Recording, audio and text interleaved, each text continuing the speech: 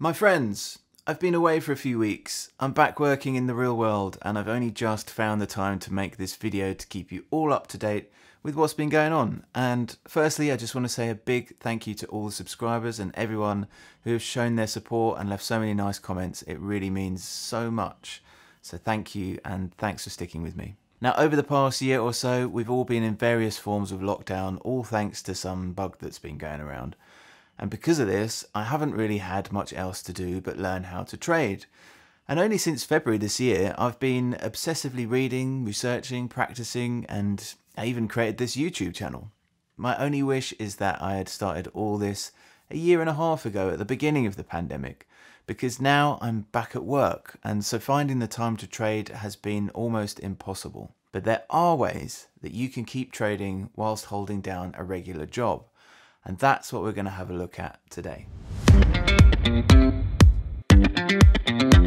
Every one of us has a different lifestyle. Some work 9 to 5, some of us are self employed, or maybe you're a stay at home mum or dad. But whatever your commitments are, it really is tough to dedicate the time that is needed to trade the stock market, unless you have specifically made the brave decision to become a full time trader. Now, if you couldn't do your normal job during the pandemic, and you decided to use your time at home by taking up trading, as I did, then we kind of became full-time traders by default, as we didn't really have any other work commitments, and most of us were at home all day not really doing much. So we had plenty of time to dedicate to trading. But now as the world starts to open up again and we all start to slowly go back to work and start to regain a social life, it's inevitably going to be much more difficult to continue trading in the way that we were during the lockdown, which really sucks because I was really just getting into the swing of it all. But I can't complain, and don't get me wrong, I am pleased that life is getting back to normal. But we just need to figure out exactly how we can fit it all in. Now, of course, like all the videos on this channel, I'm just talking about day trading and scalping, meaning taking advantage of big moves in the price at the market open and making really quick trades. I don't really do anything else, so these videos don't really apply to other types of trading. Now I work as a self-employed freelancer in the film and television industry, which thankfully has now finally started to really get going again.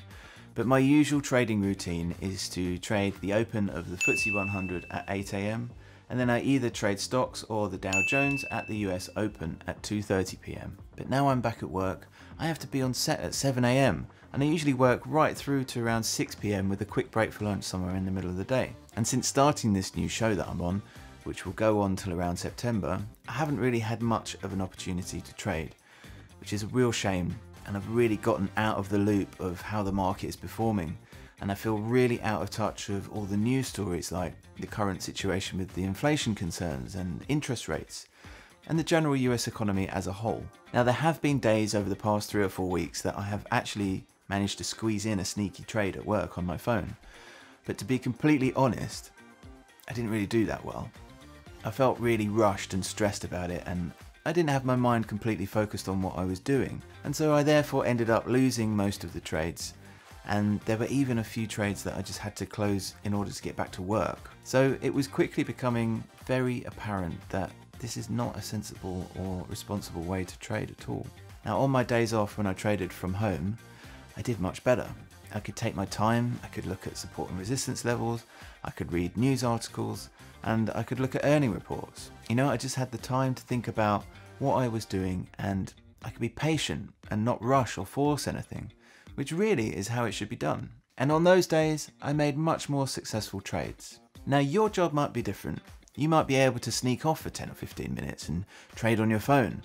Or maybe you sit at a computer where you can keep an eye on your trading window, which is all well and good. But just remember, you're always going to have that stress at the back of your mind of either being caught or being called over or God forbid being given something to do. And when we trade, we really, really need no other distractions whatsoever. You need to be completely focused and relaxed Otherwise, you're going to be making rash decisions, inevitably leading to losing lots of your money. So just keep that in mind if you're trading at work. Really think about whether you can completely focus on it. And if you can't, then really, you shouldn't be trading at all. And if you think that's a bit extreme or a bit overcautious, well, it's your money at the end of the day. But if you're like, yeah, it's cool, I don't really care about my job, I got loads of time to piss about on the internet, then go for it. But don't say I didn't warn you. And if you do decide to trade at work, I would suggest not to trade stocks. And the reason is this. We trade stocks based on news, either some sort of headline or positive or negative earning report. And all this takes a good amount of time to read and analyse and to make a decision of what you're going to do.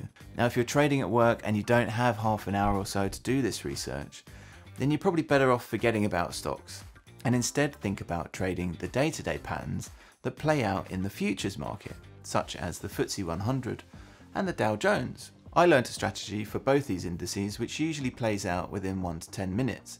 So I can literally open up my broker a minute before the open and I can sometimes be done in literally seconds and usually no more than 10 minutes, depending on the day. Now this is a strategy based on price behaviours that occur every single day and so you don't need to do any research. You just react to what you see in the moment, which is the quickest and easiest way to trade if you're at work and you've not got much time. And if you're interested in learning the patterns that play out with the FTSE and the Dow, like I did, then check out Eduardo Sambora for an in-depth course on the subject. You can of course look for yourself at how the markets move at the market open and figure the recurring patterns out for yourself.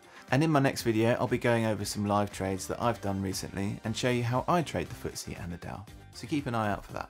Now if you put a trade on at work, you must without fail initiate a stop loss order so that if you have to go back to work for whatever reason, or you get called into a meeting or something, then you've covered your ass if the trade goes against you. Because you know, if you suddenly get called back to work and you hadn't put a stop loss order in, the trade could go against you and you could easily wipe your whole account.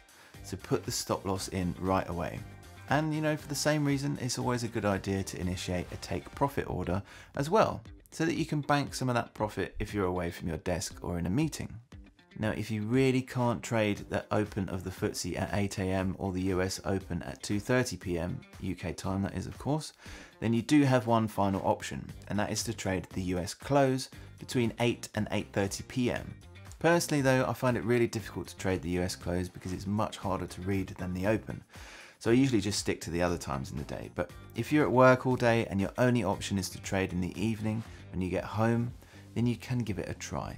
You often get some really huge rallies and sell-offs at the end of the day, and so if you time it right, you can often ride these out and make a really nice tidy profit. But do be careful because the closer you get to the closing bell at 9pm, the more and more volatile it gets.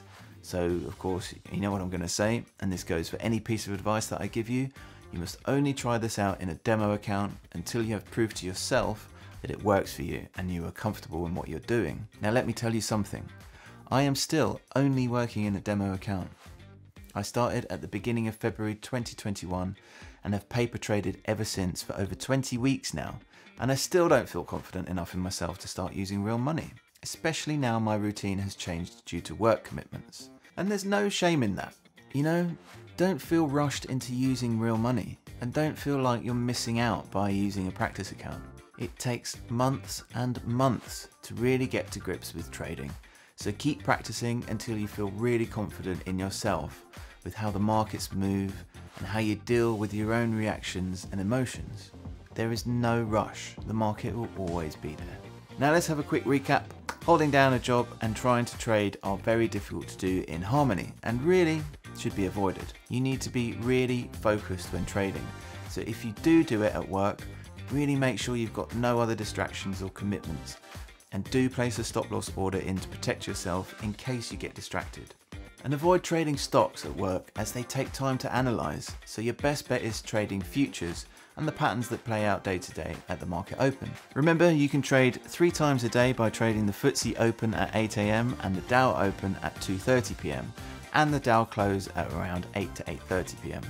So you can try and tailor this to fit around your work schedule and as always, try it with a demo account only until you're confident enough in yourself. And if you can only trade for one day out of the week, then that's absolutely fine. Like I said earlier, I'll go through some live trades of the FTSE and the Dow in the next video to show you how it all works for me and best of luck with whatever you end up doing. Just be careful, be patient and don't let your boss catch you. Alright, I'll see you next time.